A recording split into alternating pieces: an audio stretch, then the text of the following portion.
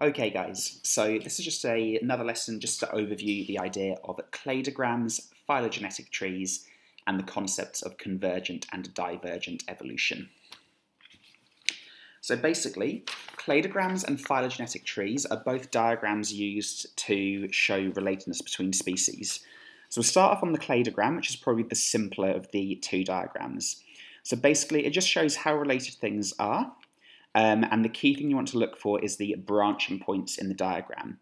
So at a branching point, that's when the groups had a common ancestor, after which they don't. So at this point, going up here, that's where insects branched out from all the other groups which are vertebrates. Okay.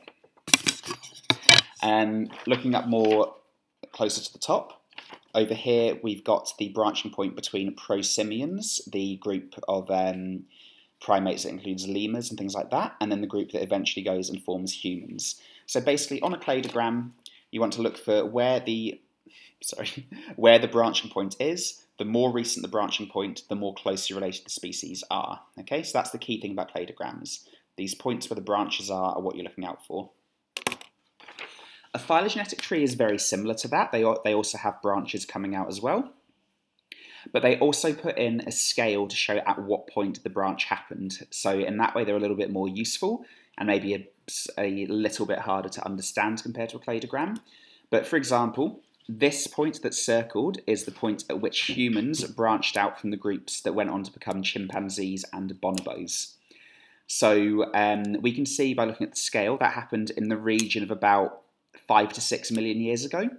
So that's how we can interpret a phylogenetic tree. A phylogenetic tree is showing us both the relatedness between species, but also when they branched off with a more of an exact timeline, as opposed to a cladogram, which just shows us when it happened, but doesn't really give us a scale for when it happened. Okay, so that's how cladograms and phylogenetic trees work.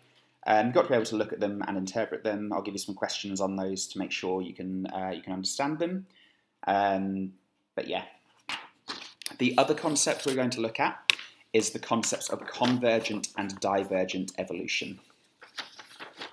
So convergent evolution is basically when two species gain a similar trait, not from common ancestry, but by adopting similar niches or lifestyles. Okay, so that's quite similar to the idea of an, an analogous structure that we um, looked at in a previous lesson. So basically, that individuals get a similar trait, but they've come from a different ancestry. All right, so that's convergent evolution. They begin differently and they become more similar over time, and they're becoming more similar not because they share a recent common relative, but because they are adapting to similar lifestyles.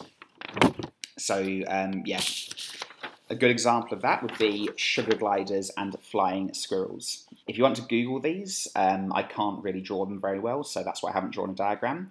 But they are both small mammals that have um, some long stretches of skin that allow them to glide between uh, between trees. So sugar gliders are marsupials and flying squirrels are eutherians. So they're different groups of mammals. So they um, don't have a recent common ancestor. They haven't both inherited that trait from a common ancestor. They both evolved that trait over time to link in with their lifestyle where they live in a dense rainforest and need to glide between trees. So that's convergent evolution. They've come from not recent common ancestors, but they've still gained a similar trait. The other type of evolution is divergent evolution, all right?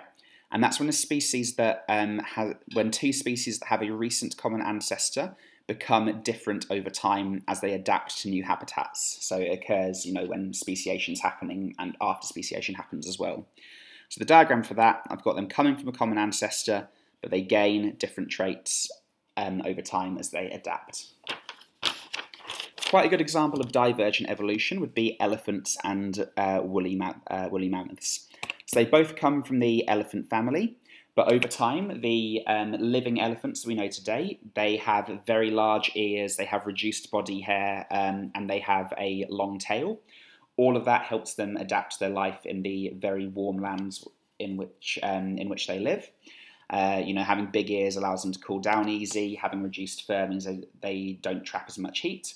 Whereas woolly mammoths, even though they're not with us anymore, they had really, um, really thick hair, um, and they had much smaller ears compared to modern day, uh, modern day elephants. So that's shown divergent evolution as they come from different backgrounds, but they're adapting to become um, to become more different over time. So that's just convergent and divergent evolution, um, and you'll have a task regarding those as well. Okay, that is all from me.